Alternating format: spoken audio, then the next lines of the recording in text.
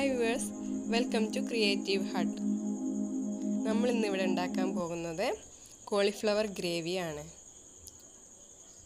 Non veg റൈസസിന്റെ കൂടെ side ഡിഷായിട്ട് ഉപയോഗിക്കാൻ പറ്റിയ ഒരു നല്ല വെജിറ്റേറിയൻ ഐറ്റമാണ് കോളിഫ്ലവർ ഗ്രേവി. ഇതിന് വേണ്ട ഐറ്റംസ് എന്തൊക്കെയാണെന്ന് വെച്ചാൽ കോളിഫ്ലവർ നന്നായിട്ട് മഞ്ഞൾപ്പൊടി ചുടുവെള്ളം എന്നിവ മിക്സ് ചെയ്ത വെള്ളത്തിൽ കാമണിക്കൂർ ഇട്ട് വെച്ച് വൃത്തിയാക്കി വെച്ചത്.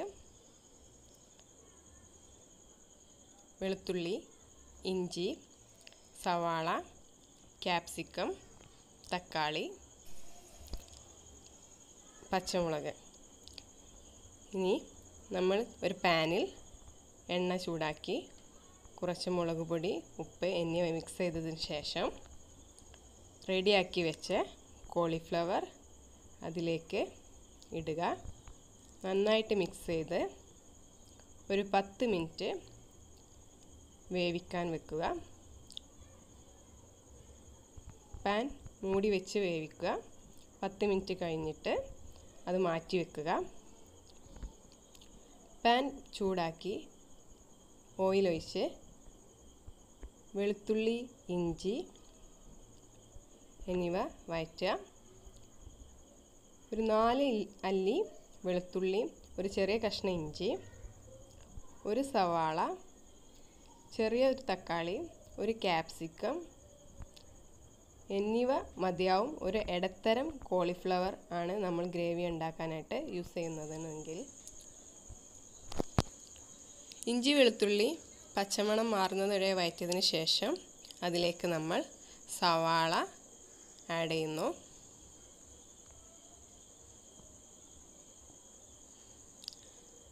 സവാള ഇതിലിട്ട് നന്നായിട്ട് മിക്സ് ചെയ്ത് ഒരു ബ്രൗൺ നിറമാകുന്നത് വരെ വേവിക്കുക.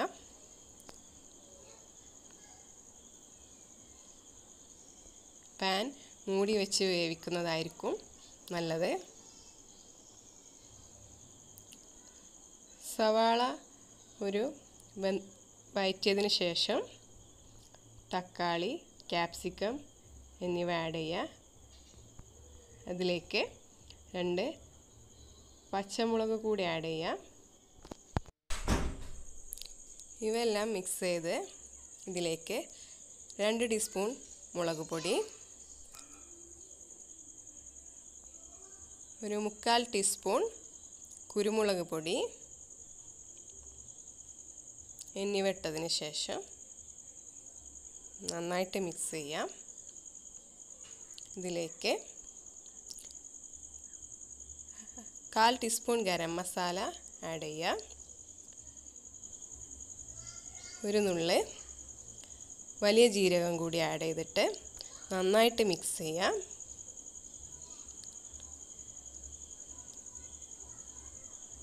ഇതിലേക്ക് രണ്ട് tablespoon soya sauce add ചെയ്യാം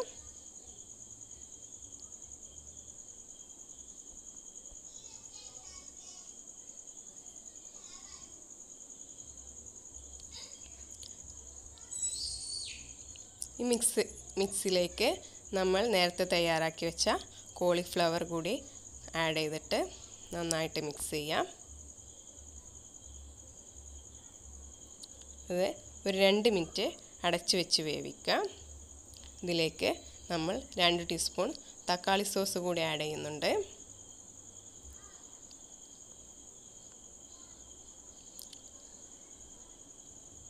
ഇപ്പോൾ നമ്മുടെ ഇതിലേക്ക് നമ്മൾ ചപ്പ് ആഡ് ചെയ്യണോ. അപ്പോൾ നമ്മുടെ ഗ്രേവി ഏകദേശം റെഡി ആയിട്ടുണ്ട്.